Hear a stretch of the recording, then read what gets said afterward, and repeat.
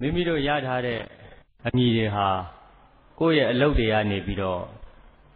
ဖြစ်ပေါ်လာတယ်ဆိုတာကိုတွေ့ရတယ်အဲ့ဒီအမည်တွေနဲ့ပဲလူတွေဟာတဦးနဲ့တဦးအတိမပြုတ်ပြီးတိုင်းတာကြတိုင်းတာတော့ဘဝတွေတွေဟာတဦးနဲ့တဦးမတူပေမဲ့အလုတ်သဘောအဖြစ်တော့လုံနေရတာတူနေတာကိုတွေ့ရတယ် ဒီနေရာမှာဘဝဆိုတာတချို့ကပြောကြလိမ့်မယ်အဲအဆင့်တန်းရှိတဲ့ဘဝတွေအဆင့်တန်းနေတဲ့ဘဝတွေပညာတတ်ပညာမဲ့ပစ္စည်းရှိပစ္စည်းမဲ့ပေါ့အဲ့ဒါလိုဘဝတွေဒီလိုဘဝတွေဆိုတာတယောက်နဲ့တယောက်ကတော့လုံးစုံတူတယ်လို့မရှိဘူးအဆင့်အားလျော်စွာတတ်မှတ်ချက်အားလျော်စွာကွဲပြားနေတာတွေ့ရတယ်အဲ့ဒါလိုကွဲပြားနေတဲ့အခေါ်အဝေါ်တွေကိုမိမိတို့ဟာ လူတွေဟာများသောအားဖြင့်ဂယုစိုက်တတ်ကြတာများတယ်တကယ်တော့အရေးကြီးတာကဘဝမှာအဲ့ဒါလိုကွဲပြားနေတဲ့အခြေအနေတွေဟာအရေးမကြီးဘူးဘာအရေးကြီးလဲဆိုတော့ဘာလုပ်နေသလဲဆိုတာပဲအရေးကြီးတယ်မိမိရဲ့ဘဝဘလို့ဖြစ်နေသလဲအဆင့်အတန်းပေါ့အဲ့ဒီအဆင့်အတန်းဟာလူတွေသတ်မှတ်ချက်အရာအဆင့်အတန်းဟာအဲ့ဒါသိအရေးမကြီးဘူး ဘာရေးကြည့်တယ်လဲဆိုရင်ဘာကိုများလုံနေကြတယ်လဲဆိုတဲ့အဲ့ဒီဟာအရေးကြီးတယ်ဆိုကြပါစို့လူတယောက်ဟာအတိတ်ကံကြောင့်ဘဝတစ်ခုကိုရလာတဲ့အခါမှာဆင်းရဲနှုတ်ချတဲ့အမျိုးထဲမှာသွားဖြစ်ရဆင်းရဲနှုတ်ချတဲ့အမျိုးထဲမှာသွားဖြစ်ရတော့သူရှင်တန်ကြီးထွားလာတဲ့ခြေနေကိုကြည့်ပြီးတော့ သူ့ရဲ့မူရင်းဘဝပေါ့မူရင်းဖြစ်ပေါ်လာတဲ့အခြေအနေကိုကြည့်ပြီးတော့ဒါထင်သေးစရာအနေနဲ့ဖြစ်သို့တော်လည်းပဲသူဟာလက်ရှိအခြေအနေမှာသူ့ရဲ့ပြုလုပ်ချက်သိကောင်းနေလို့ကြီးဝါတိုးတက်ပြီးတော့အကောင်းဘက်ကိုရောက်သွားမယ်ဆိုရင်အများအတွက်အကျိုးရှိမယ်ဆိုရင်အဲ့ဒါကောင်းတယ်လို့ပြောလို့ရတယ်တချို့တော့ကတော့မွေးဖွားလာတော့ကတော့အတိတ်ကံအကြောင်းအရဘ ဝကောင်းမှမွေးဖွားလာချမ်းသာတဲ့အခြေအနေမှာချမ်းသာတဲ့အခြေအနေနဲ့မွေးဖွားလာသို့တော်လည်းပဲသူနေထိုင်သွားလာတွေဟာအဆင်မသင့်တဲ့အတွက်ပြုလုပ်ချက်တွေဟာမကောင်းတဲ့အတွက်အများထိခိုက်နစ်နာဒုက္ခရောက်ပြီးတော့အဲ့ဒီလိုအခြေအနေမျိုးဖြစ်မယ်ဆိုရင်ဒါမကောင်းဘူးဆိုတဲ့သဘောတက်ရောက်သွားတယ်။ဘာကိုပြောချင်တာလဲဆိုတော့ ဖြစ်ပေါ်လာတဲ့ဘဝဟာဘာဘဝပဲဖြစ်ဖြစ်အဲ့ဒါတိတ်အရေးမကြီးဘူးဘာကအရေးကြီးလဲဆိုရင်ခုဘာလုပ်နေသလဲဆိုတဲ့အချက်ကအရေးကြီးတယ်ဆိုတာကိုပြောချင်တော့ပုဂ္ဂိုလ်တ attva တွေဒီကိုလာရလမ်းပေါ့အတိတ်ကံကြောင့်ဖြစ်ပေါ်လာတဲ့အခါမှာခုနပြောတဲ့အနှိမ့်အမြင့်တတ်မှတ်ချက်တွေရှိနေကြလေဘယ်သူကမွေးလာတာဒီသူကတော့ လူဆိုးတစ်ခုကမွေးလာတာတေလီကျဘိုးကမွေးလာတာစသည်ဖြင့်ပေါ့လေအဲ့ဒါလိုအမြင်သတ်မှတ်ချက်တွေရှိမယ်ဒါမှမဟုတ်လည်းပဲဒါချမ်းသာတဲ့အတိုင်းဝိုင်းကပေါက်ဖွာလာတာဆိုပြီးတော့ဒီလိုလဲပြောခြင်းပြောမယ်ဒါပေမဲ့အဲ့ဒါလိုပြောလာတဲ့အဲ့ဒါလိုဖြစ်ပေါ်လာတဲ့ဘဝဟာဘဝအခြေအနေဟာအဲ့ဒါတိတ်အရေးမကြီးဘူးဘာအရေးကြီးလဲဆိုတော့ဘယ်လိုပဲမွေးလာမွေးလာဘယ်လိုပုံစံနဲ့ပဲဖြစ်လာဖြစ်လာ သူတို့ဘာလုပ်နေသလဲအခုချိန်ခါမှာအဲ့ဒါအရေးကြီးတယ်ဆိုတာပြောချင်လို့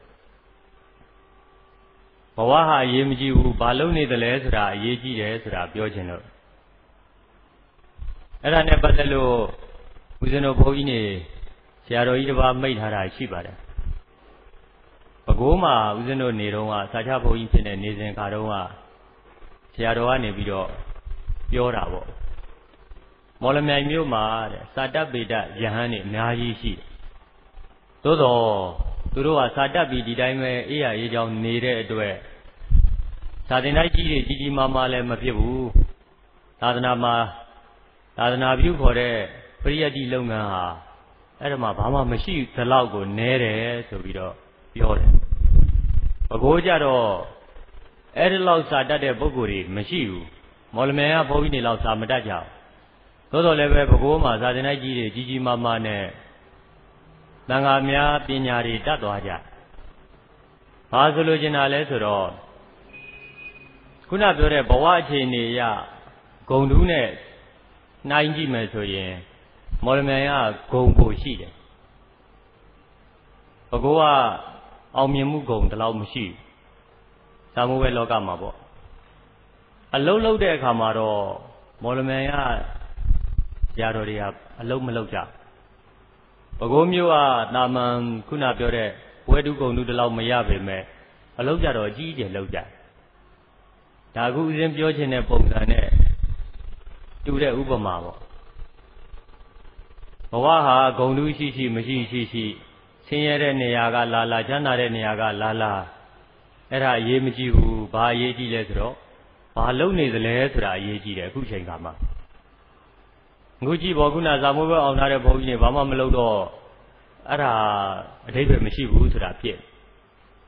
ဇာမိုးဘဲဂုံတူးတွေဒီလောက်နဲ့ဘွဲတူးဂုံတူးတွေဒီလောက်မရပေမဲ့အလုပ်တွေကိုကြိုးစားပန်းစားလုပ်နေတဲ့အခါကျတော့ဘကိုးမှာသာသနာထွန်းကားနာတွေ့ရ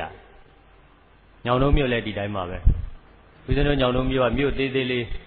အဲ့ဒီမှာတကယ်စာတင်တိုက်ကြီးတွေရှိမန္တလေးတို့ပခုတ်ကူတို့နဲ့ရှင်နိုင်လောက်တဲ့ပညာရေး အခြေအနေတွေရှိတယ်ဒီရန်ကုန်တို့ဘာတို့ကြတော့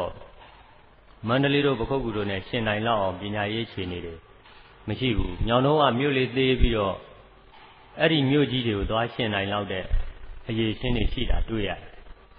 ။ဘာကြောင့်အဲ့လိုရှိလဲဆိုတော့အလုတ်လောက်ကြလို့အဲ့ဒီမှာဆရာတော်တွေကသူတို့ကိုယ်တိုင်လည်းပဲအနေထိုင်တော်တယ်ပညာတတ်တယ်အလုတ်လည်းကြိုးစားပြီးလုပ်ကြအဲ့လိုလုပ်တဲ့အတွက်ကြောင့် အခုပြောခဲ့တဲ့ဟိုမြို့ကြီးပြကြီးတွေမှာတကယ်ပညာတတ်အတိုင်းဝိုင်းနဲ့သွားရှင်နိုင်တယ်ဆိုတဲ့အခြေအနေဒါဘာပြောချင်တာလဲဆိုတော့အခုပြောတဲ့သဘောတရားပါပဲမိမိတို့ဘဝဟာဘလို့ပုံစံပဲဖြစ်ဖြစ်အဲ့ဒါအရေးမကြီးဘူးဘာအရေးကြီးလဲအခုဘာလုပ်နေသလဲဆိုတာအရေးကြီးတယ်ဆိုတာပြောချင်တော့ဘုရားကအဲ့ဒီလမ်းကြောင်းချပြထားတာရှိတယ် ပထမအဲ့ဒီလမ်းကြောင်းကိုတည်ပေးထားတာရှိတယ်ပရိသသမုပ္ပါမှာလည်းပဲအဲ့ဒီအချက်ဟာအဓိကကြာနာတွေ့ရမိမိတို့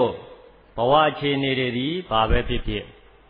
အဲ့ဒါအရေးမကြီးဘူးဘာအရေးကြီးသလဲအခုဘာလုပ်နေသလဲဆိုတာအရေးကြီးတယ်ကဲဒီတော့ကိုကိုကိုကိုကမမှန်ကန်ကန်ဝေဖန်ပြီးတော့ဆုံးဖြတ်နိုင်ရ လူတွေဟာဒီမှာလာတဲ့ပုံကိုယ်တွေဟာ16နှစ်အောက်ခန့်ငယ်ငယ်တွေမပါပါဘူးအဲ့ဒီအထက်အသက်အရွယ်ကြီးရင်ပြီးတော့အတွေ့အကြုံရင့်တဲ့ပုံကိုယ်တွေကြီးပဲဒီတော့ကိုကိုကိုကိုလမ်းမှန်အောင်ဆုံးဖြတ်ချက်ချနိုင်ဒီကပြောလိုက်တဲ့အခြေအနေတွေနားထောင်ပြီးတော့ကိုယ့်ဘာသာကိုကိုကိုကိုမှန်မှန်ကန်ကန်နဲ့ပြန်ကြည့်နိုင်ကလေးတွေလိုတွေးပြီးတော့ဟိုတွေးဒီတွေးတွေးလောက်တဲ့အရွယ်တယောက်မှမပေါ့စိတ်ကူးရင်ပြီးတွေးပြီးမဖြစ်နိုင်တာတွေကို လက်ခံတတ်တဲ့ပုံကိုမျိုးဒီမှာမပါပါဘူးဟို16 16အဲ့လောက်အရွယ်ငယ်သေးရင်တော့စိတ်ကူးပြီးဟိုတွေးဒီတွေးတွေးတတ်ကြတာပေါ့အခုဒီမှာလာတဲ့သူတွေဟာအဲ့လောက်တောင်အတွေ့နှုမဲ့သူတဦးမှမပေါ့အဲဒီတော့ကိုဘာလုပ်နေသလဲဆိုတာကိုကိုကိုကိုပြန်ကြည့်လို့ရသလားမရဘူးလားရတယ် မိမိတို့အခုဘာလုပ်နေကြသလဲဆိုတာအချိန်နဲ့အမျှကိုကိုကိုကိုပြန်ကြည့်နိုင်ရင်အဖြေထွက်ပါတယ်ကိုကိုကိုပြန်ကြည့်ပြီးတော့ကိုဟာဘာသာကိုပဲဆုံးဖြတ်ချက်ချမှာတို့ဘာလုပ်နေသလဲပါဇက်ကဘာပြောနေသလဲစိတ်ကဘာတွေကြံနေသလဲလက်တွေကဘာတွေလုပ်နေကြသလဲတခုမဟုတ်တခုကတော့စိတ်ထဲကတွေးနေတယ်ပါဇက်ကပြောကြတယ်လက်ကလှုပ်ကြတယ်အဲ့ဒီခါမှာသတိထားပြီးကြည့် ကိုဘဝကိုကိုယ့်အကိုဘာမှလာမတွက်နဲ့ငါကတော့ဘာပဲညာပဲအသက်ကြီးတာပဲငယ်တာပဲပညာတတ်ပညာမဲ့ပစ္စည်းကြီးပစ္စည်းမဲ့အဲ့ဓာတွေထဲ့မတွက်နဲ့အဲ့ဓာတွေဟာအပေါ်ယံအပြောလောက်ပဲရှိတာအဲ့ဓာတွေကထဲတွဲเสียမလိုဘူးအရေးမကြီးဘူးအရေးကြီးတာကဘာလဲအခုဘာလုံနေသလဲဆိုတာအရေးကြီးတယ်စိတ်နဲ့ဘာကိုတွေးနေသလဲပါဇက်ကဘာပြောသလဲ ခန္ဓာကိုယ်ကရောလက်တွေခြေထောက်တွေကရောဘာလုံနေသလဲဘယ်ကိုသွားနေသလဲအဲ့ဒါအရေးကြီးတယ်အဲဒီတော့အဲ့ဒါလို့ပြုလုပ်ချက်တွေကိုမြတ်စွာဘုရားက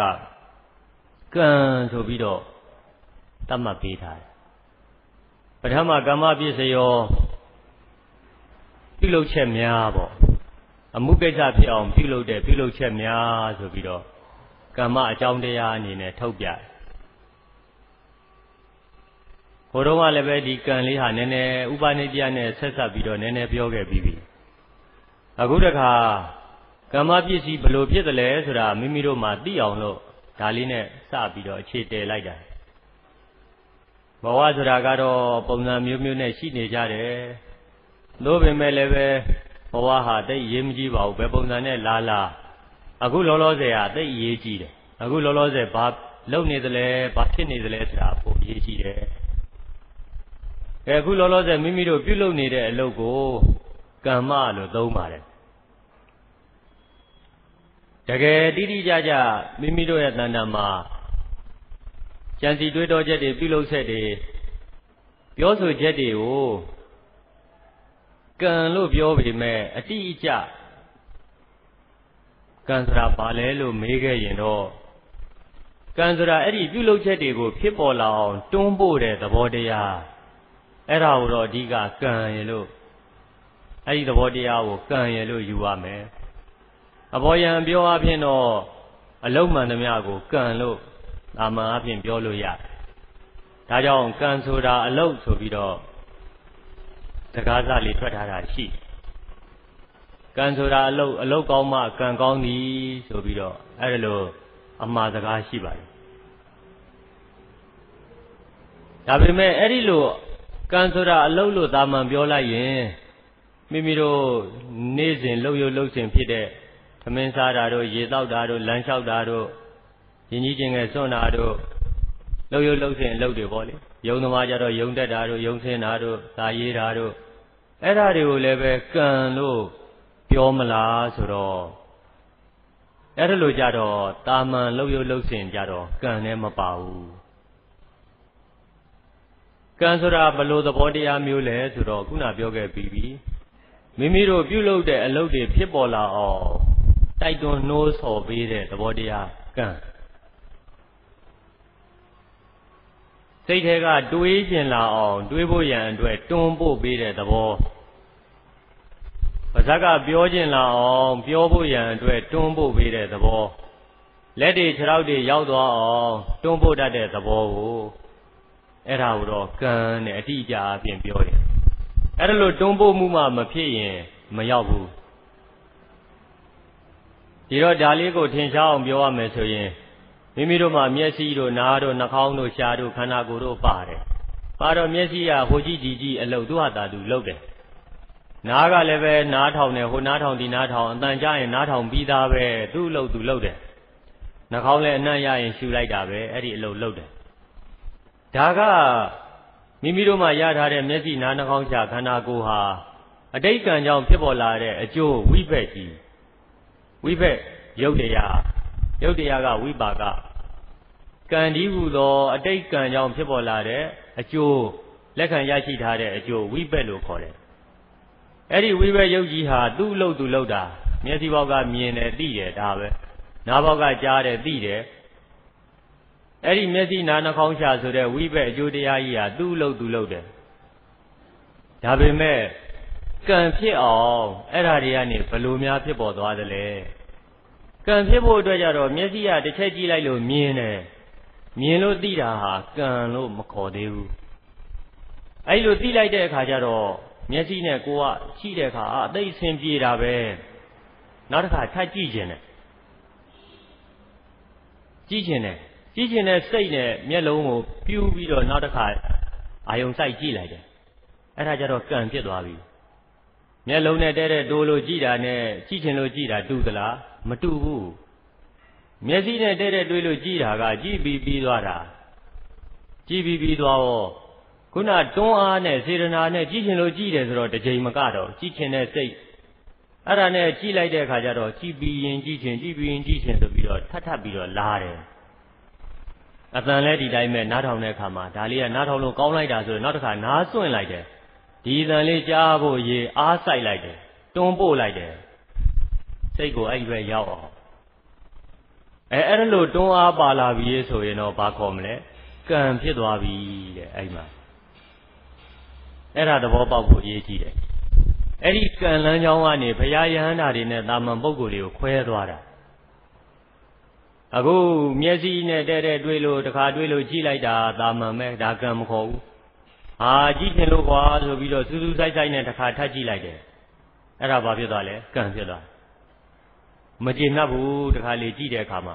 မျက်စိကမြင်တယ်ဒီမြင်ခွင့်မကျေနပ်ဘူးမကျေနပ်တော့တေချာအောင်ထပ်ကြည့်တယ်တခါလေဒေါသထွက်ပြီးတော့လူတယောက်ကကိုယ်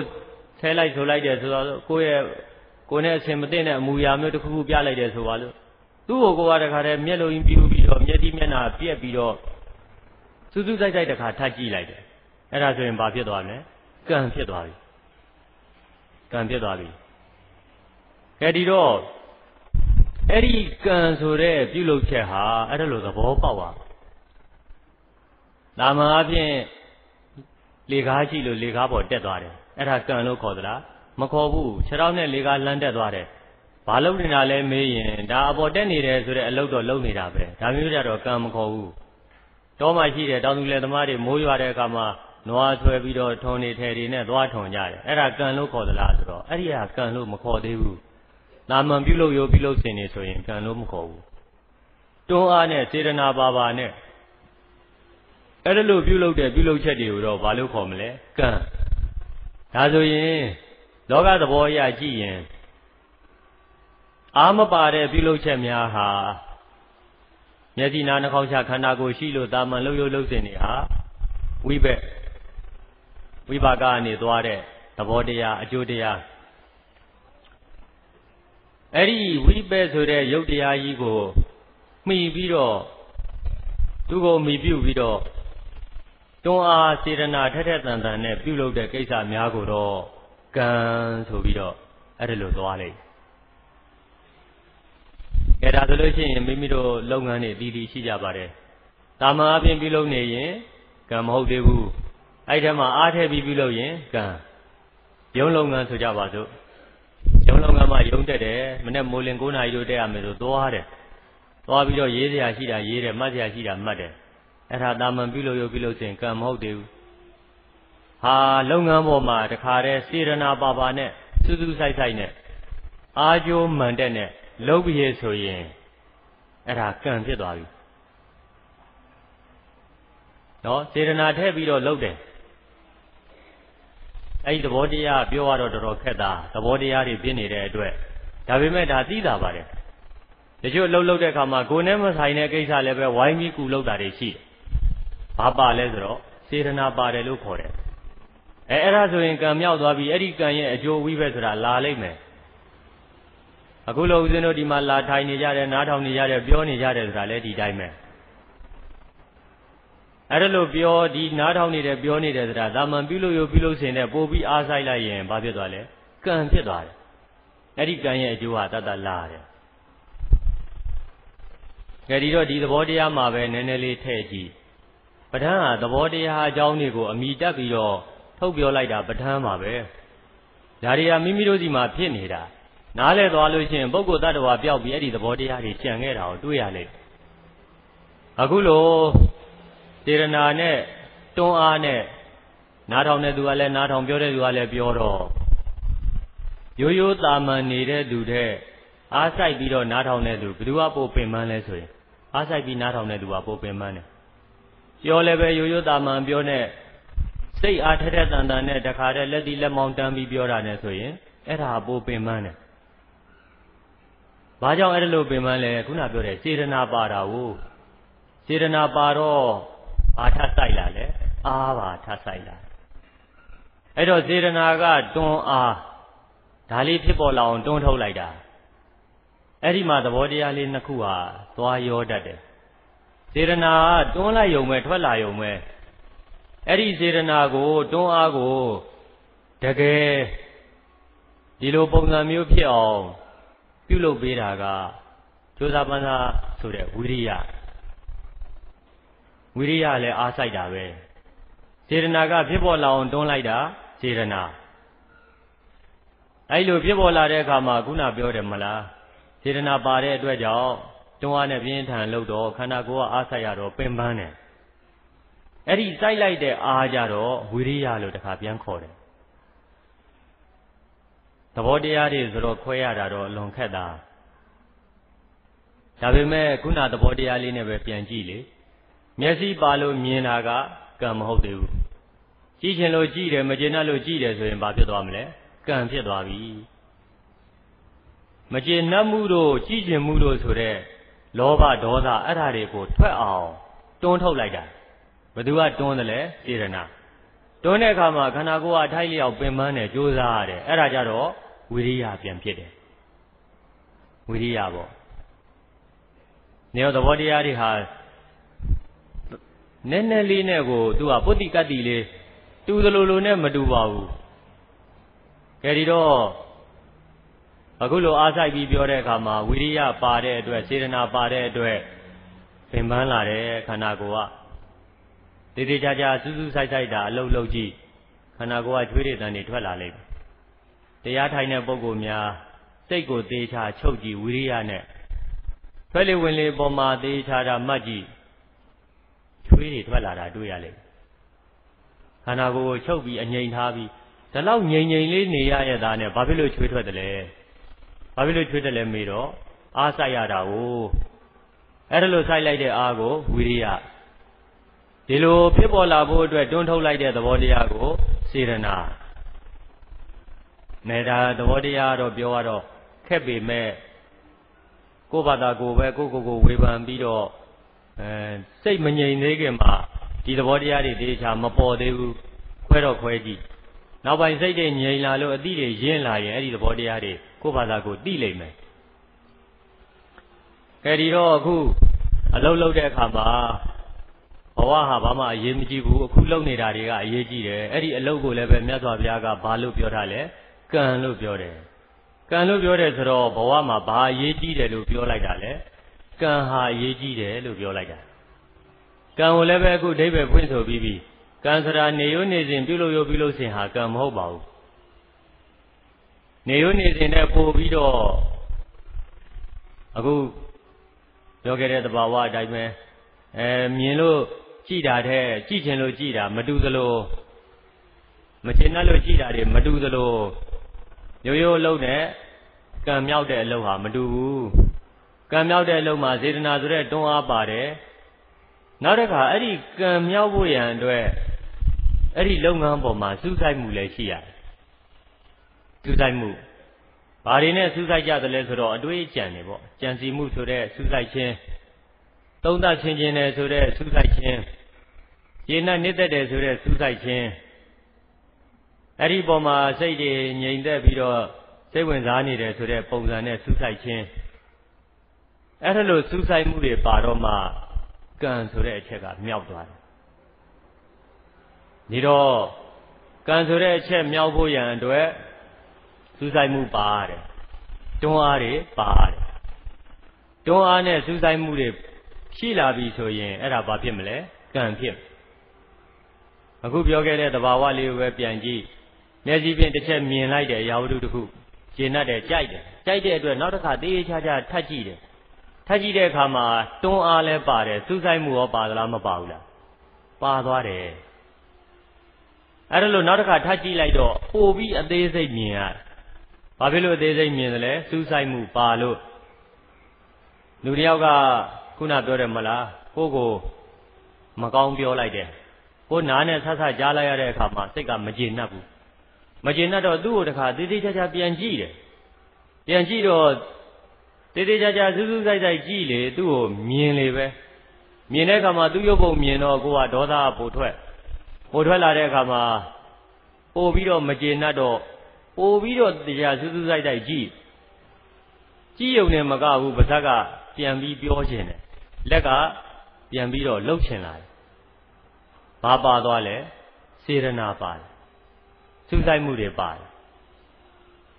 ဒါသေးချာမှတ်ကြည့်ပါဒေါသတစ်ခုဖြစ်လာတယ်ဆိုရင်အဲ့ဒီသဘောတရားပါပြီးသားပဲနားကကြားပြီးတော့၎င်းမျက်စိကမြင်၍တော့၎င်းဒေါသဖြစ်ပြီးရဲ့ဆိုရင်အဲ့ဒါပါလာတယ်စေရနာဆိုတဲ့တွန်းအားပါမယ်နောက်တစ်ချက်ပါပါသေးတယ်စူးစိုက်မှုဆိုတဲ့သဘောတရားပါမယ်ကဲဒီတော့ပဋ္ဌာန်းမှာမြတ်စွာဘုရားကကမ္မပစ္စည်းဆိုတာဘယ်အရာကိုကံလို့ပြောတယ်လဲဆိုရင် ပုံစံအဖြစ်ပြောရင်တော့ပြုလုပ်ချက်တွေကိုကံလို့ပြောတယ်သို့တော်လည်းပဲပြုလုပ်ချက်တွေဖြစ်ပေါ်အောင်တွန်းပို့တဲ့စေရနာကိုအဓိကကံတဲ့ကံဆိုတာစေရနာပါစေရနာဆိုတော့ကောင်းတဲ့ပြုလုပ်ချက်ကိုဖြစ်ပေါ်အောင်တွန်းပို့ရင်ကုသိုလ်ကံကုသိုလ်စေရနာမကောင်းတဲ့ပြုလုပ်ချက်ကိုဖြစ်ပေါ်အောင်တွန်းပို့ရင်အကုသိုလ်စေရနာနှမျိုးပဲရှိအဲ့ဒါလို့စေရနာပါတဲ့ပြုလုပ်ချက်တွေဟာကံမြောက်ဖို့အတွက် ဘာကဘယ်အကြောင်းတရားကပါဝင်နေသေးလဲဆိုတော့ခုနစူးစိုက်မှုဆိုတဲ့အကြောင်းတရားပါဝင်နေသေးတယ်စူးစိုက်မှုဆိုတဲ့အကြောင်းတရားကိုတော့ပဋ္ဌာန်းမှာဇာနာပစ္စယောဆိုပြီးတော့မြတ်စွာဘုရားကထပ်ပြထားတယ်ကမ္မပစ္စယောဝိပါကပစ္စယောအာဟာရအိန္ဒြိယဇာနာဆိုပြီးတော့အဲ့ဒီမှာဇာနာဆိုတာမြန်မာလိုပြောရင်စူးစူးဆိုင်ဆိုင်စိတ်အားထက်သန်စွာနဲ့ဖြစ်ပေါ်တာအဲ့တော့စူးစိုက်မှုရှိတော့မှကံကမြောက်တာ စူးစိုက်မှုရှိရင်ကံမြောက်တယ်ဒေရနာဆိုတဲ့တွန်းအားဟာတကယ်ကုသိုလ်အကုသိုလ်ရဲ့လို့ဖြစ်လာပြီးကောင်းတဲ့အပြုမှုမကောင်းတဲ့အပြုမှုဖြစ်လာပြီးဆိုရင်စူးစိုက်မှုကတော့ပါပြီးသားပဲအဲ့ဒီစူးစိုက်မှုကိုဘာပစ္စည်းလို့ဘာအကြောင်းလို့ခေါ်လဲဇာနာအကြောင်းလို့ခေါ်တယ်ကံဖြစ်တာနဲ့အဲ့ဒါဇာနာဖြစ်ပြီးသားဇာနာဖြစ်မှလည်းကံမြောက်တယ်စူးစိုက်မှုမပါဘဲနဲ့ကံမမြောက်ဘူး စေတနာဆိုတဲ့တွန်းအားသာမန်အဖြစ်တွန်းတာကြီးပဲစေတနာဟာစိတ်တိုင်းမှာပါတယ်သို့တော်လည်းပဲဝိဘက်ဆိုတဲ့ခုနမျက်လုံးမှာမျက်စိရှိလို့မြင်တယ်သိတယ်အဲ့ဒါမျက်စိရှိလို့မြင်ပြီးတာမန်သိတဲ့အသည့်ဒီစေတနာတော့ပါတယ်ဒါပေမဲ့အဲ့ဒီစေတနာဝိဘက်စေတနာမို့လို့ကံမမြောက်ဘူးအဲကောင်းတဲ့စေတနာမကောင်းတဲ့စေတနာကြတော့ကံမြောက်တယ်ဘာဖြစ်လို့ကောင်းတဲ့စေတနာမကောင်းတဲ့စေတနာတွေကံမြောက်တယ်လဲအဲ့ဒါလို့ကံမြောက်တဲ့ကိစ္စတိုင်းမှာကြည့်လိုက်ရင်စူးစိုက်မှုဆိုတာပါနေတာတွေ့ရတယ် စူးစိုက်တာနဲ့ဂယုစိုက်တာမတူဘူးဂယုစိုက်တာကအဓိပတိဆိုတဲ့သဘောတရားကိစ္စအလုံးပြီးဖို့အတွက်ကိစ္စတွေပြီးဖို့အတွက်အကြောင်းအခုစူးစိုက်မှုကြတော့ကုသိုလ်ကံအကုသိုလ်ကံဖြစ်ပေါ်ဖို့အတွက်ဒါအကြောင်းခုနပြောတဲ့သဘာဝလေးမှာကိုယ်ဘာသာကိုယ်ပဲအေးအေးဆေးဆေးလေးစဉ်းစားကြည့်တစုံတယောက်ကိုမကျေနပ်တာနဲ့တပြိုင်နက်ကိုယ်စိတ်ဟာအဲ့ဒီမှာစိုက်နေသလားမစိုက်နေဘူးလားစိုက်နေတယ် တခုခုကိုလိုချင်တာနဲ့တပြိုင်နက်ကိုယ်စိတ်ဟာအဲ့ဒီမှာစူးနေသလားမစူးနေဘူးလားစူးနေစူးစူးရှားရှားကိုအဲ့ဒီမှာရောက်နေတာအဲ့ဒါဘာအကြောင်းပါဝင်နေလဲဇာနာဆိုတဲ့အကြောင်းပါဝင်နေအဲ့ဒါလို့စူးစိုက်မှုနဲ့ကိုကပြောလိုက်တယ်တွေးလိုက်တယ်ပြုလုပ်လိုက်တယ်ဆိုရင်ဘာမြောက်သွားလဲကံမြောက်သွားတယ်အဲ့ဒီကံဟာမိမိတို့ပြုလုပ်တဲ့ကံဟာအကောင်းဖြစ်ခြင်းဖြစ်မယ်အဆိုးဖြစ်ခြင်းဖြစ်မယ်ဘယ်နှမျိုးလဲနှစ်မျိုး ရှေ့တုန်းကကိုဘဝဟာဘယ်ပုံစံနဲ့လာလာအခုဘာလုံနေသလဲဆိုတာအရေးကြီးတယ်ဘာလုံနေသလဲအဲ့ဒီလုံနေတဲ့အပေါ်မူတည်ပြီးတော့အကျိုးဟာပြန်ကျလာမယ်အဲ့ဒီပြုလုပ်ချက်ကိုဘာအကြောင်းလို့ပြောမလဲကံကံမြောက်ဖို့အတွက်ဘာအကြောင်းကပတ်မိုးထားသလဲဇာနာဆိုတဲ့စူးစိုက်မှုဒီတော့မိမိတို့ဘဝဟာအခုဟိုတုန်းကဘာဖြစ်ဖြစ်ထည့်ပြောစရာမလို ဟိုတုန်းကလူသားသမားပဲဖြစ်ဖဲသမားပဲအရက်သမားဘိန်းသားပဲဖြစ်ဖြစ်သူတော်ကောင်းပဲဖြစ်ဖြစ်ပြောစရာမလိုပါဘူးဘာလို့ပြောရမလဲအခုဘာလုပ်နေသလဲဆိုတာပြောရရထားတာလည်းအခုလက်ရှိရထားတဲ့အခြေအနေဟာအမှန်ပဲကြံခဲ့တဲ့အတိတ်ဆိုတာပြီးခဲ့ပြီအတိတ်ဆိုတာရှိသေးလားလို့မေးရင်ရှိ ਉਹ မရှိတော့သူနဲ့ထပ်တူထပ်မြောက်ပေါ်မလားဆိုတော့ပေါ်လဲမပေါ်တော့တခါဖြစ်ပြီးပြီးသွားတဲ့ကိစ္စ အဲ့ဒါရှိမနေတော့တဲ့ကိစ္စကြဒီတော့ရှိမနေတော့တဲ့ကိစ္စကိုပဋ္ဌာန်းမှာအဓိကမထားဘူးပဋ္ဌာန်းမှာအခုပြထားတဲ့အဓိကဘာထားလဲအခုကမ္မဆိုတဲ့သဘောတရားကိုအဓိကထားတယ်လူတွေရဲ့ဘဝမှာကံဆိုတဲ့အချက်ဟာအရေးကြီးတယ်အရေးကြီးပုံကိုဘယ်ကနေပြလဲဆိုတော့ကမ္မံတတ္တေဝိပဇ္ဇတိဆိုပြီးတော့ သုတ်တံဒေသနာတော်မှာလာတာရှိတယ်။ပုဂ္ဂိုလ်တ attva တွေရဲ့ဘဝအထွေတွေကိုအဲ့ဒီကံကပြန်ခွဲခြားပေးသွားလိမ့်မယ်။အတိတ်တုန်းကဖြစ်ခဲ့တာတွေအသာထားပြစ္ဆုတ်ပံမှာကောင်းတဲ့အလုပ်တွေလုပ်နေတယ်ဆိုရင်ဒီပုဂ္ဂိုလ်ဟာအကောင်းဆိုတဲ့ဘဝပေါ်လိမ့်မယ်။သိုးတဲ့အလုပ်တွေလုပ်နေရင်သိုးတဲ့ဘဝပေါ်လိမ့်မယ်။ဟိုတုန်းကလာခဲ့တာတွေထဲ့မပြောနဲ့တဲ့ရှေ့တုန်းကပြီးခဲ့တဲ့ကိစ္စတွေကိုလည်းပဲ အာမကိုနဲ့တော့ဒါကြောင့်မလို့ပြောခဲ့တယ်ဘဝဘလို့ဘဝပဲဖြစ်ဖြစ်အရေးကြီးသလားမကြည့်ဘူးဘာအရေးကြီးဆုံးလဲအခုဘာလုပ်နေသလဲဆိုတာအရေးကြီးတယ်လို့ပြောတာကံကိုဥတည်ခြင်းလို့ဘဝကိုတည်ဆောက်တာကံပဲမနေ့ကကိုကလူစိုးတခိုးဖြစ်ပေမဲ့အခုဘုရားတကအကြောင်းတကလုံနေရင်ကောင်းသလားမကောင်းဘူးလားကောင်းတာပဲမနေ့ကဟာထဲမပြောနဲ့မနေ့ကဟာပြီးခဲ့ပြီ မနေ့ကကန္နာမနေ့ကအကျိုးသူကသူတတ်တတ်သွားလိမ့်မယ်အဲဒီတော့လောကမှာရှိပါတယ်မွေးလာတော့ကတော်တော်ချွတ်ချွတ်တက်တဲ့ဆင်းဆင်းရဲရဲနဲ့သို့တော်လည်းပဲပြစ္ဆုတ်ပံမှာကြိုးစားပန်းစားနဲ့ကြိုးစားပြီးတော့လူတစ်လုံးသူတစ်လုံးဖြစ်ပြီးအများကျိုးဆောင်နေတာတွေရှိသလားမရှိဘူးလားရှိတယ်အဲ့လိုပုံကုမျိုးကြတော့ကောင်းတယ်လို့ပြောမလားဆိုးတယ်လို့ပြောမလားကောင်းတယ်မွေးလာတော့ဟာတွေထည့်ပြောသေးလားမပြောတော့ဘူးသူဟိုတုန်းကဆင်းရဲနှုံချခဲ့တဲ့ဘဝဘယ်သူမှထည့်မစင်းစားတော့ ဒါကြောင့်မလို့အတိတ်ကိုပြန်မကြည့်နဲ့မြတ်စွာဘုရားကအတိတေနာနုသောဆံတော်တဲ့အတိတ်ကိုတွေးပြီးတော့စိုးရိမ်မှုဆွေးမှုတွေမလာစေနဲ့ဘာကိုပြောချင်လို့လဲဆိုတော့အခုကမ္မပစ္စည်းမှာအရေးကြီးတာကအခုလက်တလောအရေးကြီးတယ်အခုဘာလုပ်နေသလဲဆိုတာအရေးကြီးတယ်အဲဒီတော့အလုပ်လုပ်တဲ့နေရာမှာလည်းပဲအခုလုပ်တဲ့အလုပ်မှာလည်းပဲကမ္မပစ္စည်းမှာကုသလာကုသလံကမ္မဝိပါကနံခန္ဓာနံကတ္တတာသရူပနံကမ္မပစ္စေနပစ္စယောလို့ အဲ့ဒါလို့သဘောတရားပိုင်းဆိုင်ရာနှစ်ချက်ထုတ်ပြတဲ့အတွက်ကောင်းတဲ့ကံလည်းရှိနေမယ်မကောင်းတဲ့ကံလည်းရှိနေအခုဘာလုပ်နေသလဲကောင်းတာလုပ်နေတာဖြစ်ခြင်းဖြစ်မယ်မကောင်းတာလုပ်နေတာလည်းဖြစ်ခြင်းဖြစ်မယ်ဒီတော့ဘာပဲဖြစ်ဖြစ်ကိုဘာလုပ်နေတယ်ဆိုတာသိဖို့တော့ဒါအရေးကြီးတယ်ပေါ့ဘာလုပ်နေတယ်ဆိုတာလည်းအရေးကြီးတယ်ကိုလုပ်နေတာကိုလည်းသိဖို့အရေးကြီးတယ်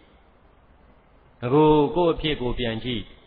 ဒီလိုအတိမှမရှိရင်ကိုဘာလုပ်လို့လုပ်နေမှလူတွေဟာမသိကြတာများပါတယ်ကောင်းမှုလုပ်နေတာတော့ကောင်းမှုရဲ့လို့တေးသေးချာချာမသိဘူးမစူးစိုက်ဘူးလှုပ်ရုပ်လှုပ်စင်မဲ့လှုပ်နေကြအလူတစ်ခုလှုပ်တယ်လှုပ်လိုက်တာပါပဲလှုပ်ရုပ်လှုပ်စင်မလို့လှုပ်လိုက်တာစူးစူးဆိုင်ဆိုင်ရှိသလားဆိုတော့မရှိဘူးမနဲ့မိုးလင်းလို့ဘုရားပန်းကရေချမ်းစီမီကချွတ်လှုပ်ကြပါတယ်ဘုရားရှိခိုးကြနေ့စဉ်အကျင့်ပါနေလို့တာလှုပ်တာ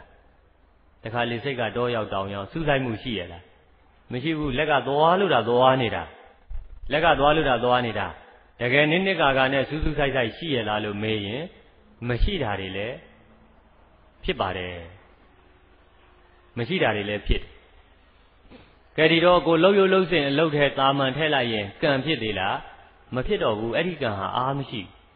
ကံရလို့မခေါ်ဘူးလှုပ်ရုပ်လှုပ်စင်နဲ့ပါသွားတော့ ဒီတော့လိုလားအပ်တဲ့အကျိုးလိုချင်တဲ့အကျိုးကံကြောင့်အကျိုးဖြစ်တယ်ဆိုရင်ကံမမြောက်ရင်ကံမမြည်ရင်အကျိုးဟာလည်းပဲပိပိတတမဖြစ်ပေါ်လာတော့ဒါကြောင့်မလို့အခုဘာလုပ်နေသလဲဆိုတာအရေးကြီးတယ်ကိုလုပ်တဲ့အလုပ်ပေါ်မှာကိုစူးစိုက်မှုရှိရစူးစိုက်မှုရှိရင်ဘာမြောက်မလဲကံမြောက်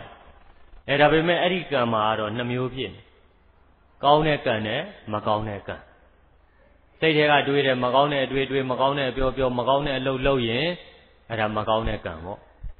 စိတ်ထဲကကောင်းတဲ့အလုပ်တွေးကောင်းတဲ့အကြောင်းတွေးကောင်းတဲ့အပြောပြောကောင်းတဲ့အလုပ်လုပ်ရင်ကောင်းတဲ့ကံကုသိုလ်ကံလို့ခေါ်တယ်အပြစ်မရှိဘူးကောင်းသောအကျိုးကိုပေးတဲ့ကံကုသိုလ်ကံအပြစ်နဲ့တကွမကောင်းသောအကျိုးကိုပေးတဲ့ကံအကုသိုလ်ကံကိုဘာလုပ်နေသလဲဆိုတာကတော့ဘသူသိလဲကိုဘာသာကိုပဲကိုသိတယ်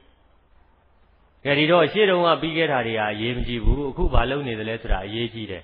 တက်သေးတွေအနေနဲ့ပြောရင်အများကြီးပါပဲ ဘုရားလက်ထက်တုန်းကတော်တော်ဆိုးတဲ့ပုံကိုယ်တွေရှိတယ်လူတတ်သမားဆိုအင်္ဂုလိမာလာပေါ့အင်္ဂုလိမာလာအတိတ်တုန်းကတတ်ခဲ့တာတွေအများကြီးသို့တော့နောက်ပိုင်းမှာဖြစ်သွားလဲယဟန္တာဖြစ်သွားယဟန္တာဖြစ်သွားတဲ့အခါကျတော့ရှေ့တုန်းကဘဝကိုသူပြန်ပြီးတော့ထက်တွက်เสียလိုသေးလားမလိုတော့ဘူးရှေ့တုန်းကဘဝဘာမှထက်ပြောเสียအကြောင်းမရှိတော့အခုသူဘာလုပ်နေသလဲဆိုတာပဲအရေးကြီးတယ် အဲ့တော့သူဟာအလုပ်ဟာကောင်းမွန်တဲ့ဘဝရောက်သွားပြီးတော့ကောင်းတဲ့အပြောကောင်းတဲ့အကြံကောင်းတဲ့အလုပ်တွေလုပ်ဒါပေမဲ့ယဟန္တာအဆင့်ကြတော့ကံမမီတော့ဘူးပြုလုပ်ခါမြပဲကရိယာဆိုပြီးတော့အဲ့ဒါတက္ကန္တသွားတယ်အဲ့ဒီကန္တသွားဖို့အတွက်ကိုလည်းပဲခုနရှေ့ပိုင်းလေးမှာကံကိုခွဲခဲ့ပြီးပြီမျက်စိပါလို့ကြည်တာဒီကံဟုတ်ရဲ့လားမဟုတ်ဘူးမကျေနပ်လို့ကြည်တာကြတော့ဘာပြောက်သွားလဲကံမြောက်သွားတယ်ကြည်ချင်လို့ကြည်တာကြတော့ဘာမြောက်သွားလဲကံမြောက်သွားတယ် အဲဒီတော့ဘုရားယဟန္တာတွေရဲ့မျက်စိဟာမျက်စိပါလို့ကြည်တာပဲရှိတယ်ကံမမြောက်ဘူးဝိဘက်ဝိဘက်ကနေအမိပြုပြီးကရိယာကြည်ကာမြပဲမြင်ကာမြပဲမိမိတို့ကြတော့မဟုတ်ဘူးတစ်ချက်ကြည့်တယ်တစ်ချက်ကြည့်ပြီးတော့ကြည့်လို့တခါတရံကြတော့လည်းပဲကြိုက်တာရှိတယ်မကြိုက်တာရှိတယ်တခါတရံကြတော့ကြိုက်တယ်လည်းမဟုတ်မကြိုက်တယ်လည်းမဟုတ်ပါဠိဘာသာနဲ့သွားရတယ် အဲ့ဒါလို့သွားပြန်တော့လည်းမသိလိုက်မသိဘာသာနဲ့သွားတဲ့အတွက်ကြောင့်မလို့အဲ့ဒါမောဟဆိုတဲ့အကုသိုလ်ကံနဲ့ပြုလုပ်မိခြင်းပဲကြည့်တော့ကြည့်တယ်သဘောတရားပိုင်းဆိုင်ရာကိုမမြင်ဘူးအမားကိုပဲမြင်တယ်ဥမာအပြင်လူတွေ့လူလို့မြင်တယ်ပေါ့ခွေးတွေ့ခွေးလို့မြင်တယ်အဲ့တော့လူတွေ့လူလို့မြင်တယ်အဆင်ပြေတယ်ဆိုလို့ရှိရင်ထခါထခါကြည့်တယ်အဆင်မပြေဘူးဆိုရင်ထခါထခါမကြည့်တော့ဘူးမကျေနပ်ဘူး အဲမကျေနပ်တဲ့အနေနဲ့လည်းထခါထခါကြည့်ရင်ကြည့်မယ်နာမအပြင်လည်းပဲဆင်ញင်စဉ်းစားညံမပါပဲနဲ့မြင်ပြီးတော့သိလိုက်တယ်မှတ်လိုက်တယ်အဲ့ဒါလို့သွားပြန်တော့လည်းပဲအဲ့ဒါမောဟဆိုတဲ့မသိလိုက်မသိပါတာအကုသိုလ်ကံနဲ့ဒါသွားခြင်းလို့ခေါ်လို့ရတယ်ဒုနာမျက်စိပါလို့တစ်ချက်တွေ့လို့သိတာကကံမဟုတ်သေးဘူးသို့တော့အဲ့ဒီကံမဟုတ်တဲ့ကိစ္စမှာ ကံမဟုတ်မှန်ကိုသေချာမသိဘူးပေါ့ဒီသဘောတရားသေချာမသိပဲနဲ့ခုနအမားတွေနဲ့ပဲသိနေမယ်ဆိုရင်လူကိုလူလို့မြင်တယ်ခွေးခွေးလို့မြင်တယ်အဲ့ဒါလို့အမြင်တိုင်းသိနေရင်ကောင်းတာလည်းမပါဆိုးတာလည်းမပါပေမဲ့အဲ့ဒီသဘောတရားနဲ့ပဲပြန်ပြီးတော့ကြည့်မိမယ်ဆိုရင်မောဟဆိုတဲ့အကုသိုလ်ကံနဲ့ကြည့်ခြင်းပဲလို့အဲ့ဒါလည်းပဲအကုသိုလ်ကံစီရင်နဲ့ထည့်လို့ရတယ်ဒီတော့ ယဟန္တာတွေကြည့်တဲ့ကရိယာမျိုးကြတော့ဘယ်လိုပုံစံမျိုးလဲမျက်စိပါတော့မြင်တယ်မြင်ပြီးတော့သူတို့ရဲ့အမြင်မှာသူတို့ရဲ့အမြင်မှာလူတွေ့ပေမဲ့လူဟာပြောပဲရုပ်တို့နာတို့မြင်တယ်မနေ့ကပြောခဲ့တဲ့လူတယောက်မှရှိတဲ့ဖောက်ပြန်ပြည့်စည်တတ်တဲ့သဘာဝနဲ့တိတတ်တဲ့သဘာဝလူတယောက်တွေ့တယ်မျက်စိနဲ့ကြည့်လိုက်တော့အဆင်းမြင်ဟာ အဲ့ဒီမြင်ရတော့သူ့ရဲ့ဖြူတယ်ပြားတယ်ညိုတယ်ဝါတယ်ဆိုတဲ့အဆင်းမြင်ဟာမြင်ရတော့ယဟန္တာပုဂ္ဂိုလ်တွေကသိပါတယ်။ဩဒါဟာဖောက်ပြန်ပြည့်စည်တတ်တဲ့သဘောကြီးပဲလို့အတိညာကသိပြီးသားသိပြီးသားဆိုတော့အခေါ်ပြောအဖြစ်တော့လူလို့တော့ပြောနေတာပဲ။သို့တော့သူ့ရဲ့စိတ်ထဲမှာအတိညာထဲမှာဘာပေါ်သလဲဆိုရင်ဖောက်ပြန်ပြည့်စည်တတ်တဲ့သဘောသို့မဟုတ်ဒီယာဒီကတိပြီးမရှိတော့တဲ့အနိစ္စ ခိုင်မြဲမှုမရှိတဲ့အနတ္တချမ်းသာမဟုတ်တဲ့ဒုက္ခဆိုပြီးတော့အဲ့ဒါလိုအတိညာနဲ့ထည့်ပြီးတော့ကြည်လဲကြည်အတိညာမထည့်ပဲနဲ့ကြည်ရင်လည်းပဲရုပ်ပိုင်းဆိုင်ရာပေါက်ပြန်ပြည့်စည်တတ်တဲ့သဘောဆိုတာသူတို့ကသိပြီးသားအတိညာထပ်ထည့်ပြီးတော့ကြည်မယ်ဆိုရင်ပါဠိလိုပြောတော့အနိစ္စဒုက္ခအနတ္တဆိုတဲ့ဉာဏ်မှာထပ်ပါတယ်ပါပေမဲ့အဲ့ဒါလည်းပဲအားဆိုင်ပြီးလောက်ရတာမဟုတ်ဘူး သူတို့ဟာငကိုယ်တည်းကသူတို့မှာပြည့်စုံပြီးသားမို့လို့အလိုလျောက်ကိုမြင်သွားတဲ့အမြင်အလိုလျောက်မြင်သွားတဲ့အမြင်မို့လို့အားဆိုင်เสียမလို့သောကြောင့်ဘာလို့ခေါ်လဲကရိယာကံမဟုတ်တော့အဲဒီတော့ဒီသဘောတရားကတော့နည်းနည်းလေးခက်ပါတယ်ခက်တယ်ဆိုမဲ့ကြည်ပါဘုရားယန္တာတွေကမျက်စိပါလို့ကြည်တာကျင်납လို့ကြည်တာနဲ့မကျင်납လို့ကြည်တာသူတို့မှမရှိဘူးနားပါလို့ကြားတာ နားထောင်ခြင်းနဲ့နားမထောင်ခြင်းဘူးဆိုတာမရှိဘူးပါဇက်ပါလို့စားတာစားခြင်းနဲ့မစားခြင်းဘူးဆိုတာမရှိဘူးဒီဟင်းကမကောင်းဘူးကွာမကျေနပ်ပါဘူးဆိုတာလည်းမရှိဘူးဒီဟင်းကကောင်းတယ်နောက်တစ်ခါထပ်ပြီးတော့ဝအောင်နင့်အောင်စားလိုက်ဦးမယ်ဆိုတာလည်းမရှိဘူးအဲ့တော့ဒီနေရာမှာစင်ကြင်ညာရှိတဲ့ပုံကိုယ်တွေအဲ့ဒီဥပမာလေးနဲ့ပြောပြရင်သိပါတယ်တချို့အစားအသောက်စားတဲ့အခါမှာစီကြိုသွေးသွေးရှိတဲ့သူတွေဟာ အချိုတွေ့ရင်စားရဲပါမစားရဲဘူးသူတို့နဲ့ဒါဟာမတည့်ဘူးဆိုတာသိတဲ့အတွက်မစားဘူးမစားကြဒီတော့ဟင်းနေသမင်းနေပြင်ပြီးသမင်းဝိုင်းရောက်လာရင်ကြည့်ပြီးဒါအချိုများသလားအငံများသလားအချိုတွေအငံတွေများရင်သူတို့မစားတော့အချိုအငံမများတဲ့ဟာသူတို့ရွေးစားတယ်ရွေးစားတော့စားကျင်တာကတော့ချိုတဲ့ငံနဲ့စိတ်နဲ့အရသာရှိတာစားကျင်တာပေါ့ ယောဂဝေဒနာနဲ့မတည့်တဲ့အခါကျတော့မစားကျင်တဲ့အရာကိုပဲရွေးပြီးစားတဲ့ပုံစံမျိုးဖြစ်သွားတယ်။ဒေချာကြည့်နော်။ဒီတော့သူဟာဒီစားတဲ့အစားအစာပေါ်မှာစားကျင်လို့စားတာလားတဲ့တဲ့အရာမို့လို့စားသလားဆိုတော့တဲ့တဲ့အရာမို့လို့ပဲစားတယ်ဆိုတာဖြစ်သွားတယ်။စားကျင်လို့စားတာဟုတ်သေးလား။သူစားကျင်တာကတခြားလေစားကျင်တာသူနဲ့မတည့်ဘူးမတည့်တော့သူကမစားနိုင်။စားလို့လည်းမစားချင်မစားလည်းမစားရဘူး ဒါပေမဲ့ तू ရွေးစားလိုက်တဲ့အစားအစာကြတော့ तू နဲ့တဲ့တယ်အဲ့ဒီအစားအစာကြတော့ तू စားချင်လားမစားချင်မစားချင်တော့လုံးလုံးလည်းမစားဘဲနေသလားဆိုတော့မစားဘဲနေလို့လည်းမရမစားချင်လောက်အောင်ပြစ်ပလိုက်သလားဆိုတော့လည်းအဲ့လိုလည်းမဟုတ်အဲ့ဒီသဘောလေးနဲ့ကြည့်ရင်ထင်ရှားပါတယ်ယောဂဝေဒနာရှိတဲ့သူတွေစီချိုသွေးတို့နှလုံးပေါ်အဲ့ဒါတွေရှိတဲ့သူတွေဟာအချိုးတွေအချင်းတွေအချိုးတွေအငန်းတွေရှောင်ရ ရှောင်ရတော့အချိုးတွေအငန်းတွေပါလာရင်စားခြင်းပဲမဲ့သူတို့မစားကြရှောင်လိုက်သူတို့မစားခြင်းတဲ့အရာကြီးကြတော့ရွေးပြီးစားဘာဖြစ်လို့စားလဲတဲ့လို့ကဲဒီတော့အခုအဲ့ဒီသဘောတရားလေးယူပြီးတော့ကြည့်ပေါ့ဘုရားယဟန္တာတွေပါဇက်ပါလို့စားတယ်စားခြင်းလို့စားတာမဟုတ်တော့ဘူးသူတို့ကဒီဟာရဲ့အပြစ်ကိုမြင်ပြီးသားရုပ်ဖောက်ပြန်မှုဆိုတာသိပြီးသားသူတို့မှာအကောင်းဆိုတာသတ်မှတ်ချက်ကမရှိတော့အကောင်းရလို့သတ်မှတ်ချက်မရှိတော့ ဒီຢာကိုစားခြင်းတယ်ဆိုတာမလာတော့မစားဘဲရောနေလို့ရသလားဆိုတော့မရဘူးမစားဘဲနေရင်ဘိုက်ကပူလောင်ပြီးတော့ဒီပါစကတေသောဆိုတဲ့ဝမ်းမီးရရှို့ပြီးဒုက္ခရောက်လေသူတို့လောက်ရရှိတဲ့အလုပ်ကိုမလုပ်နိုင်တော့ဒီတော့မစားဘဲနေလို့မရတော့သူတို့နဲ့တဲ့တာကိုစားတယ်ခုနပြောတဲ့တဲ့တာကိုစားတယ်ဆိုတဲ့ပုံစံမျိုးပေါ့ဒီຢာကိုစားခြင်းလို့စားတာမဟုတ်ဘဲနဲ့ သူတို့နဲ့တင့်တော်လို့စားတယ်ဆိုတဲ့အခြေအနေမျိုးပဲရောက်သွားတယ်တင့်တော်လို့စားတယ်ဆိုတော့စားခြင်းလို့စားတာမဟုတ်တဲ့အတွက်သူများတကားလိုလိုကြိုက်လို့စားတဲ့သူလိုဘိုက်ကောင်းစားပါတော့မလားမစားတော့စားယုံမြပဲသူအတိုင်းတာအထိရောက်သွားရင်ရပ်သွားပြီတိုင်းတာအထိရောက်သွားရင်ရပ်သွားအောင်ငယ်ဒီတော့အဲ့ဒါကိုနားမလဲတဲ့အခါဖះလည်းပဲဗိုက်ထားတာပဲစားကျင်တဲ့တဏှာရှိသေးတာပဲစားသေးတာပဲလို့တွက်တတ်ကြတယ်မဟုတ်ပါဘူး ဒါဦးဇင်းတို့ငယ်တုန်းကကြုံခဲ့ရတဲ့အဖြစ်တစ်ခုရှိတယ်ဟိုစာတင်စဉ်ခါတုန်းကကျောင်းတိုက်က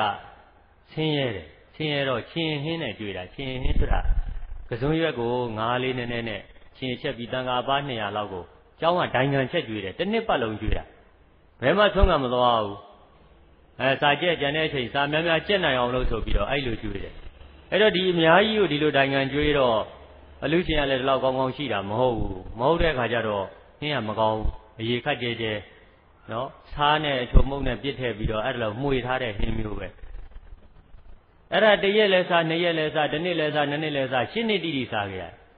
နော်ရှင်းနှစ်ဆိုတော့စဉ်းစားကြည့်ဒီဟာစားကြင်မှာတော့အမစားခြင်းပဲမဲ့အချိန်တန်ဇလုံးလေးဆွဲပြီးတော့တက်ပြီးစားရတာဘလို့မှကိုကောင်းတယ်လို့သတ်မှတ်လို့မရတော့မစားပဲလဲနေလို့ရလားမရဘူးအဲ့တုန်းကခံစားချက်ပေါ်တယ်တောင်းဝန်ရှိလို့ဒါတက်စားနေရတာ စားခြင်းတဲ့စိတ်တစ်ချက်မှမရှိဘူးဘယ်စားခြင်းမလဲစကားစားခဲ့မသိလို့ထားပါတော့ရောက်ကစားလေးပါဇက်ကမတွေ့သေးလို့စားတယ်ဆိုရင်ထားတော့နေ့တိုင်းဒါကြီးစားနေရနော်အချိန်မောင်းများစွာကဲဒီတော့အဲ့ဒီသဘောတရားမှာအတူတူပဲစားခြင်းလို့စားတာမဟုတ်ဘူးဟိုဘိုက်ပြည့်သွားဖို့ပဲရေးကြည့်တယ်နော်အိုလဲစားပါတော့မလားအိုလဲမစားတော့ဘိုက်ပြည့်ုံတော့တော့စားလိုက်တယ်အဲ့ဒီလိုပဲအခု မိမိတို့ခန္ဓာကိုယ်မှာကံနဲ့ကရိယာနဲ့ဖြစ်ခြင်းဆိုတာအဲ့ဒီသဘောတရားပဲကံဆိုတာကလိုလိုချင်းချင်းနဲ့ပြုလုပ်လိုက်တယ်မကျေနပ်တာနဲ့ပြုလုပ်လိုက်တယ်တွန်းအားပါစေရနာပါစူးစူးဆိုင်ဆိုင်ပြုလုပ်တယ်အဲ့ဒါကံကံမြောက်သွားပြီကောင်းတဲ့ပြုလုပ်ချက်ရှိမယ်မကောင်းတဲ့ပြုလုပ်ချက်ရှိမယ်ကရိယာကြတော့အဲ့လိုမဟုတ်ဘူးမဖြစ်မနေလောက်ရမှာမလို့တာလောက်လိုက်တာ လက်ပါလို့တာလက်ကပြလိုက်တာစိတ်ထဲကပါတာမဟုတ်ဘူးဆိုတဲ့သဘောမျိုးပေါ့လူတွေသွားတဲ့လာတဲ့အခါတရားတယောက်သွားကနီးလာကနီးနှုတ်ဆက်ကြတယ်လေလက်တွေပါတွေပြကြတယ်ဒီကနေသွားရှိပါတယ်ဒီလိုနိုင်ငံခြားကြီးတွေပါတွေသွားနောက်ကနေလက်လိုက်ပြတာအဲ့မှာနော်စဉ်းစားကြည့်ပေါ့လက်တော့ပြလိုက်တာပဲဟိုကကြည့်မှလည်းမသိမကြည့်မှလည်းမသိထုံးစံရပြတာ အဲ့လိုဆိုတော့စဉ်းစားကြည့်ပေါ့အဲ့ဒါလို့လှုပ်ချက်တွေရှိသလားမရှိဘူးလားအဲပြုလုပ်ယုံများပဲဆိုရင်အဲ့ဒါဘာလို့ခေါ်လဲကရိယာတခါတည်းစိတ်ပါလက်ပါနဲ့လက်ဝေ့ရမ်းပြီးတော့တခါတည်းပြုတ်ပြက်ထက်သွားဥပါဖြင့်ဘောလုံးမဲတွေမှာတွေ့လိမ့်မယ်ဘောလုံးမဲတွေမှာတခါတည်းကိုယ်အသင်ကနေပြီးတော့သူများအသင်ကိုနိုင်ရတဲ့ခါကျရင်အိုးအိုးတခါတည်းအုတ်ထုပ်တွေပြည့်အင်ကြီးတွေပြည့်လူတွေဂျွန်းထိုးနဲ့အဲ့ဒါကြတော့စေနာပါသလားမပါဘူးလားပါတယ်အဲ့ဒါကြတော့ကံလို့ခေါ်တယ် ခုနပြောတဲ့တာဝန်ကြီးလေးကြတော့ကံလို့ခေါ်သေးလားမခေါ်ဘူးကရိယာပြုပါများပဲဆိုတာအဲ့ဒီသဘောတွေရှိတဲ့အကြောင်းပြောပြတာပါကဲဒီတော့ကံဆိုတာကကောင်းတဲ့အလုပ်မကောင်းတဲ့အလုပ်တွေဒီမိမိတို့အမြဲတမ်းလုပ်နေကြအဲ့ဒါလိုပြုလုပ်တဲ့အချက်ထဲမှာအတိညာမထဲပဲနဲ့သာမန်အပြင်ပြုလုပ်လိုက်တဲ့မောဟဥစီသောကံတွေကတော်တော်များများပါတယ်လောဘဥစီတဲ့ကံလည်းရှိတယ်ဒေါသဥစီတဲ့ကံလည်းရှိတယ် ပြည့်ပြည့်စုံစုံမသိသေးနိုင်ခင်တော့မိမိတို့ကြည်သမျှပြောသမျှပြုလုပ်သမျှဟာမသိမှုဥစီထားတဲ့အကုသိုလ်ကံတွေကြီးပဲသွားနေဒါကိုလည်းမှတ်ဟုတ်ကိုကတော့ကိုမှစူးစူးဆိုင်ဆိုင်မဟုတ်ဘဲနဲ့တောင်းကြဝတ္တရားရပြုလုပ်ရင်တို့လည်းကရိယာဖြစ်နေပြီလို့ထင်တတ်ကြတယ်ကရိယာဆိုတာတိတိဤသားနဲ့ကိုသူတို့က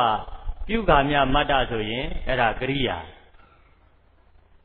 ဒီသဘောတရားပြောရတော့တော်တော်ခက်တယ်ဒါပေမဲ့လောက်ကြည့်ရင်တော့စမ်းသပ်ကြည့်ရင်တော့အစ်စ်မဟုတ်တာတော့အတုတော်ဖြစ်တယ်ကိုယ့်ဘာသာကိုစမ်းသပ်ကြည့်ကိုကိုကိုဝေဖန်သုံးသပ်ကြည့်ကိုယ်စိတ်တွေကိုပြန်ကြည့်အဲ့ဒါသိပါတယ်ဒီလုပ်ငန်းလေးဟာဘလို့ပဲဒါကဘလောက်တောင်ကံမြောက်သွားတယ်လဲဒါကကံမမြောက်ဘဲနဲ့ဘယ်နေရာမှာတင်ရပ်သွားတယ်လဲညံတဲ့ပြီးကြည့်လို့ရှိရင်ပြုကမြဆိုတဲ့သဘောတရား အဲရိုးရိုးရိတ်ရိတ်သိတယ်အပြည့်စုံတာမသိတာကဲဒီတော့ဘဝမှာအခုစိတ်နဲ့တွေးတယ်လက်ဖြင့်ပြုလုပ်တယ်နှုတ်ဖြင့်ပြောတယ်ဆိုတဲ့အမှုတွေသည်စေရနာပါတဲ့စူးစိုက်မှုပါရင်ဘာပစ္စည်းလို့ခေါ်လဲကမ္မပစ္စည်းအဲ့ဒီကံဟာမလုပ်ဘဲနေလို့လည်းမရကြဘူးကိုပြုလုပ်နေတဲ့ကံအမြဲတမ်းလဲလုပ်နေကြတယ်သူတွေကအမြဲတမ်းပြုလုပ်နေကြ အဲအဲ့ဒီကံတွေကိုရှေ့အောင်ဘသူကအရင်ခံတယ်လဲဟိုးစတုန်းကပြောခဲ့တဲ့ဟေတုပစ္စည်းအကောင်းသုံးချက်အဆိုးသုံးချက်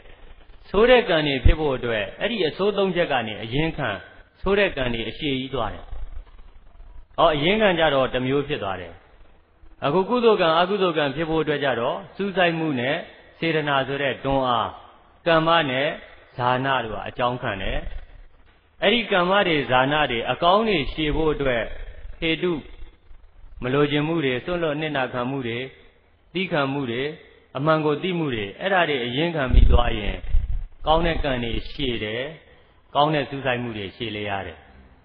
လိုချင်မှုတွေမကျေနပ်မှုတွေအမှန်ကိုမသိတဲ့မိုက်မဲမှုတွေအရင်ခံခဲ့ရင်မကောင်းတဲ့ကံတွေဘာဖြစ်သလဲရှည်တယ်ဟော ကံကိုရှည်အောင်ကြတော့ဘယ်အကြောင်းကပြန်ထောက်ပံ့ဟေတုကနေပြန်ပြီးတော့အကြောင်းခံတူသလားဆိုရင်မတူဘူးဒါဆိုလို့ရှိရင်အခုမိမိတို့ကိုဖြစ်တဲ့ဖြစ်စဉ်မှာတတိထားပြီးကြည့်ပေါ့ကိုဖြစ်တဲ့ဖြစ်စဉ်ဟာကောင်းတဲ့ဖြစ်စဉ်ကြီးရှည်နေရင်ဘာရင်းခံတယ်လဲဆိုတာအဲ့ဒီသဘောတရားတွေတွေ့လိမ့်မယ်မကောင်းတဲ့ဖြစ်စဉ်ကြီးရှည်နေရင်ဘာရင်းခံတယ်လဲဆိုတာတွေ့လိမ့် အဲ့ဒါလို့ရင်းခံတဲ့အကြောင်းကိုတော့ဘာအကြောင်းလို့ခေါ်လဲဟေတုဆိုပြီးတော့ပြောခဲ့ဒါတွေဟာကိုယ့်စီမှာဖြစ်နေတာတွေကြီးပဲအဲဒီတော့ကိုယ့်ဘဝဟာဘယ်လိုပဲလျှောက်လန်းလားလျှောက်လန်းလားသိရေးမကြည့်ပါဘူးဘာအရေးကြီးလဲအခုဘာလုပ်နေသလဲဆိုတာအရေးကြီးတယ်အဲ့ဒါကိုသတိထားပြီးတော့ကြည့်သတိထားကြည့်ပြီးတော့ဒီကံတွေဟာအကောင်းနဲ့အဆိုးနှမျိုးဖြစ်နေလိမ့်မယ်အကောင်းနေရှည်ဖို့အတွက် အလောဘအဒေါသအမောဟလို့ဆိုတဲ့စိတ်သုံးပါးအရင်ခံမယ်မကောင်းတဲ့ကံတွေရှည်လျားဖို့အတွက်လောဘဒေါသမောဟအကြောင်းတရားသုံးခုကအရင်ခံလိမ့်မယ်အဓိကအပြင်တော့ကောင်းတဲ့ကံတွေအတွက်အဓိကအကြောင်းကတော့အတိညာရှိမှု မကောင်းတဲ့ကံတွေအတွက်အဓိကအရင်ခံကတော့အတိညာမဲ့မှုအဲ့ဒါလို့ရင်ခံပြီးတော့ကောင်းကံဆိုးကံတွေဟာမိမိတို့ရဲ့ပြုလုပ်ချက်တိုင်းမှာဖြစ်ပေါ်နေတယ် အခုဘာလုပ်နေသလဲဆိုတာအခုလုပ်နေတဲ့အလုပ်တွေဟာကံတွေပဲအဲ့ဒီကံတွေဟာအကောင်းဆိုးကိုယ်ဘာသာကိုခွဲအကြောင်းရင်းကံကဟေတုဆိုတဲ့အကြောင်းကြောင့်သုံးမျိုးသုံးမျိုးစီနဲ့တစ်ဖက်မှာဒီကောင်းကံဆိုးကံတွေကိုရှေ့လျအောင်ပံ့ပိုးနေလေကဲဒီတော့ဒီကောင်းမှုမကောင်းမှုတွေဟာတကယ်အကျိုးပေးဖို့ရန်အတွက် လမ်းတစ်ပွဲဖြစ်ဖို့လမ်းကြောင်းတစ်ပွဲဖြစ်ဖို့အတွက်အဲ့ဒါကြတော့အကြောင်းတရားတစ်ချက်ပြန်ပြအဲ့ဒီအကြောင်းကိုတော့ဘာအကြောင်းလို့ပြောမလဲဆိုရင်မေဃပစ္စည်းဆိုပြီးတော့အဲ့ဒီအကြောင်းနဲ့ပြအခုကုသိုလ်ကံမှာနတ်ရွာတုဂတိနိဗ္ဗာန်ရောက်ဖို့အတွက်ကောင်းတဲ့အလုပ်တွေလုပ်တဲ့အခါနတ်ရွာတုဂတိနိဗ္ဗာန်ဘက်ကိုဘယ်သဘောတရားတွေနဲ့လမ်းခင်းသွားတယ်လဲ ကုသိုလ်တော့ကုသိုလ်ပဲနတ်ပြည်ရောက်ဖို့လူပြည်ရောက်ဖို့ဗြဟ္မပြည်ရောက်ဖို့ဟိုလွတ်ရကျွတ်ရဖြစ်တဲ့နိဗ္ဗာန်ချမ်းသာကိုအာယုံပြုနိုင်ဖို့ဒီကုသိုလ်ကံဟာဘယ်လမ်းကြောင်းကနေဘယ်အဆင့်ဘလောက်နဲ့သွားသလဲမကောင်းတဲ့ဘုံဘဝတွေဖြစ်တဲ့ငရဲတိရစ္ဆာန်ပြိတ္တာအတူတကယ်ဆိုတဲ့ဘဝတွေကိုရောက်ဖို့ရဖို့အတွက်အကုသိုလ်ကံဟာဘယ်လမ်းကြောင်းနဲ့ဘယ်သဘောတရားတွေနဲ့ပူးပေါင်းပြီး ဘလို့ခရီးဆက်တယ်လဲဆိုတာအဲ့ဒီအကြောင်းကိုတော့မေဃပစ္စည်းမှာပြကုသိုလ်တိုင်းနိဗ္ဗာန်ရသလားမရဘူးကုသိုလ်မှာအဆင့်အတန်းတွေခွဲပေးလိုက်မယ်နတ်ရွာသူဂတိလောက်ရောက်ချင်ရောက်လိမ့်မယ်ဗြဟ္မပြည်လောက်ရောက်ချင်ရောက်လိမ့်မယ်သို့မဟုတ်နိဗ္ဗာန်အထိတောက်လျှောက်ပေါက်ချင်ပေါက်သွားနိုင်တယ်အဲ့ဒါလို့ပေါက်ဖို့ရန်အတွက်အကြောင်းတစ်ပွဲဖြစ်တဲ့လမ်းတစ်ပွဲဖြစ်တဲ့အကြောင်းတွေကိုတော့ မေဃဆိုပြီးတော့အဲ့ဒီမှာပြဒါဆိုရင်အကုသိုလ်ကံကကောငရဲတိရစ္ဆာန်ပြိတ္တာအတူတကယ်ဖြစ်ဖို့အတွက်ဘယ်လမ်းကြောင်းပေါ်ကနေဒီအကုသိုလ်ဟာဘယ်သဘောတရားတွေပူပေါင်းပါဝင်သွားသေးသလဲဆိုတာအဲ့ဒီမေဃပစ္စည်းမှာတစ်ခါပြန်ပြကုသိုလ်ကံအကုသိုလ်ကံတွေကိုမေဃပစ္စည်းဆိုတဲ့လမ်းကြောင်းတွေကနေထုတ်ဆောင်ပြီးတော့ဆိုင်ရဆိုင်ရအသီးသီးကိုရောက်အောင်ပို့ပေးလိုက်အဲ့ဒါလိုဆိုင်ရာကိုရောက်စေတတ်တဲ့သဘောရှိတဲ့ ဆိုင်ရာကိုရောက်စေတတ်တဲ့သဘောတရားများကိုတော့မေဃဆိုပြီးတော့မြတ်စွာဘုရားကထပ်ပြီးဟောပါတယ်အဲဒီတော့ဒီမေဃဆိုတဲ့အကြောင်းတရားဒုတိယအချိန်ကြမှာပဲပြောလို့ရမယ်အခုအချိန်ရှိပြီဆိုတော့ခဏ10မိနစ်ခန့်ခဏနားကြ